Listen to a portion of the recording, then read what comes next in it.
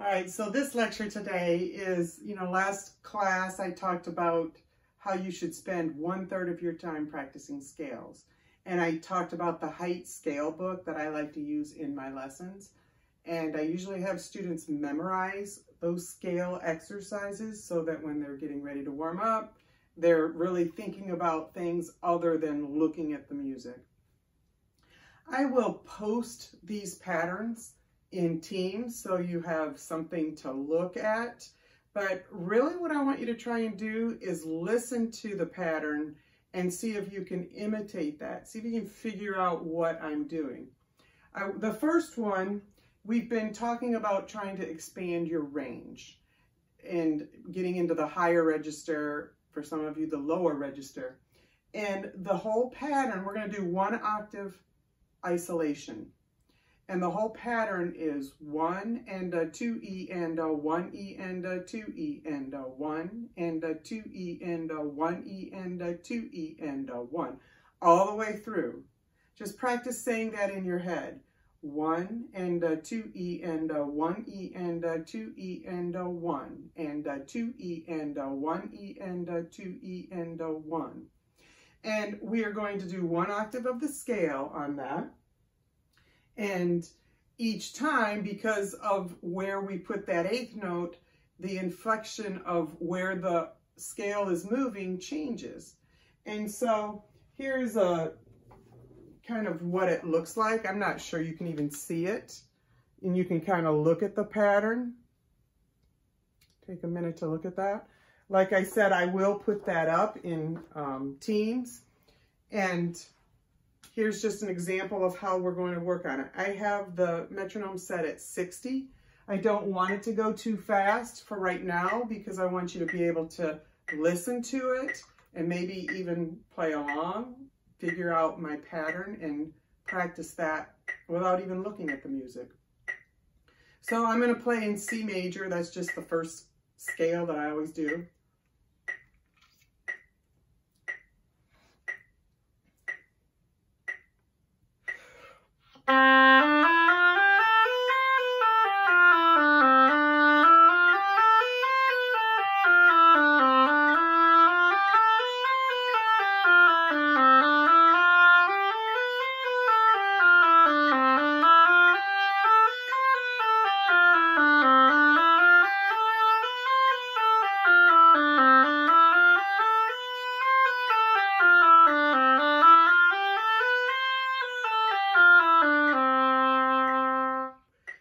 And so by playing that, you can focus and not having to look at music, you can focus on things like your posture, your sound, your embouchure, your air. Now you can do this, the arpeggio the same way. Again, you're going to go up and down the arpeggio, repeating that same pattern. This time it's going to be one and two E and a one and a two E and a. See if I can do this. Now,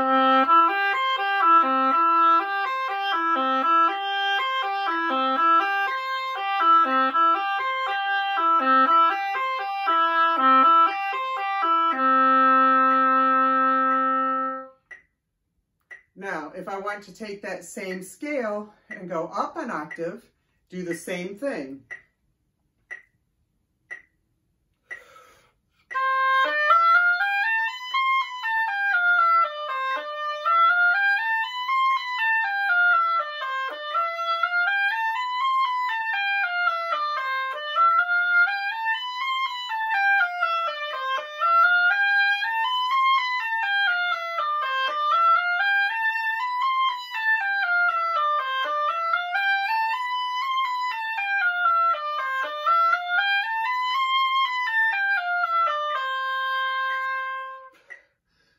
This is concert C. Every time I hit the C, I turned around and came down. And at first it takes a little time to get used to it. And then here's the arpeggio.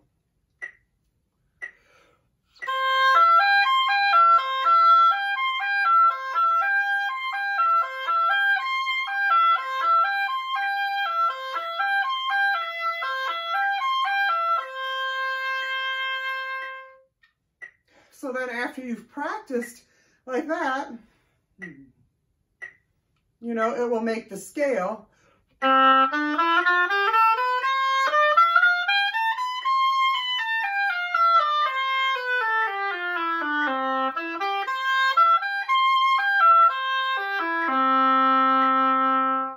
that much easier. And you can do that in every single key. And I'll tell you, it just cleans everything up. It helps you feel the pulse. We've been talking a lot these past couple of weeks about inflection in the music. And I just love these scales. I got it out of a, uh, a friend of mine, Chris Weait, who is a bassoon player. He's retired now, but he published these books oboe scales for reading, and he did them for, he's bassoon, so he did bassoon scales for reading, published in 2006. And they're just really invaluable. You know, they work both octaves.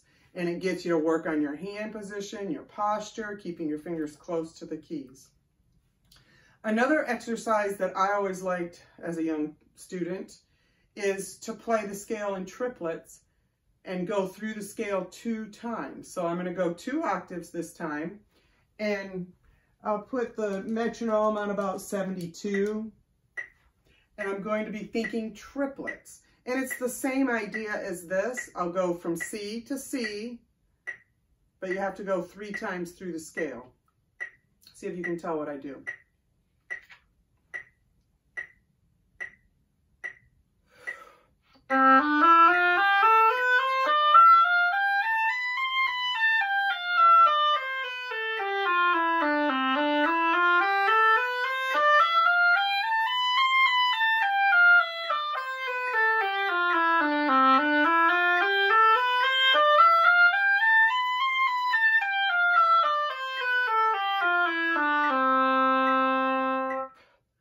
So that was just the C scale in triplets three times through.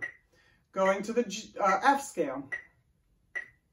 Mm -hmm.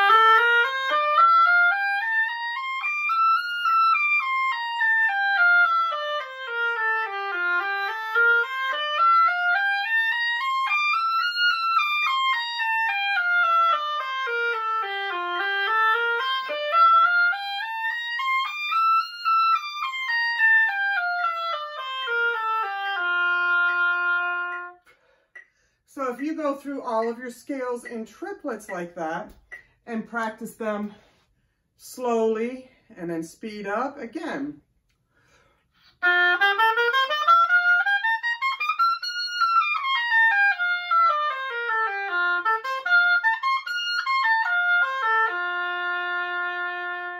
You'll have smooth scales. Your fingers will be close to the keys. They'll be relaxed. They'll be exactly what that I keep trying to get you to do. You know, I say to students all the time that you know you're going to have to play these scales for the rest of your life.